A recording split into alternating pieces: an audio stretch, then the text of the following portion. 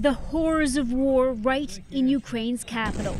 A barrage so intense that even in the early days of the invasion, Kyiv wasn't attacked like this. For hours, the missiles just kept coming.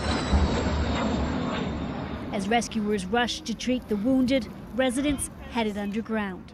Really, I, I think because they are bastards.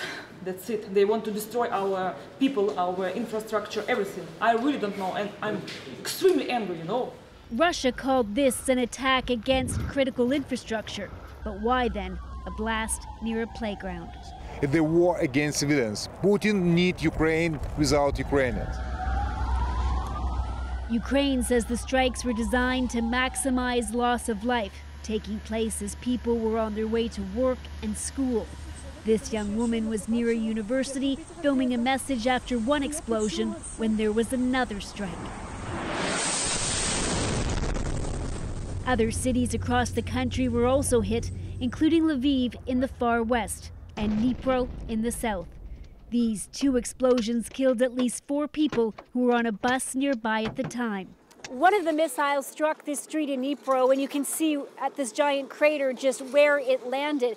Now, it's starting to be filled in now, but it's believed that the intended target was actually this building, which at one time was a telecommunications hub.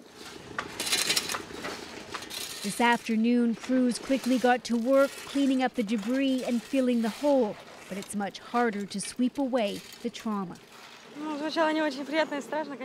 It's a good thing my child was sleeping and didn't hear any of this, says this woman, because the first time this happened and they were bombing for two days, she was really scared. This man's bar was destroyed in the blast, but not his resolve.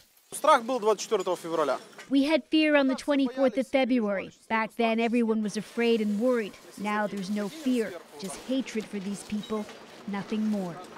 Because the attacks damaged the power grid, officials are asking people to conserve electricity.